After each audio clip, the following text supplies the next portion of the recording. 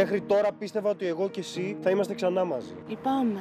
Είμαι σίγουρος ότι μου κρύβουν κι άλλα. Αυτοί οι δύο είναι μαζί. Δεν ισχύει αυτό, αγόρι μου. Έχεις κάθε δικαίωμα να είσαι θυμωμένος, αλλά έλα λίγο στη θέση μου. Δεν μπορώ να σου δίνω συνέχεια άφεση αμαρτιών. Λυπάμαι. Αν όντως ο Άρης είναι ο άντρας της ζωής σου, εγώ δεν θέλω να μπω εμπόδιο. Ο Άρης δεν θα μεγαλώσει ποτέ αυτό το παιδί. Ακόμα κι αν αυτό θα είναι το τελευταίο πράγμα που θα κάνω.